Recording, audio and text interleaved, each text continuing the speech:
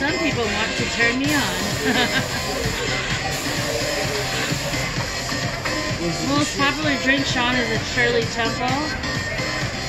Most pop based on gender.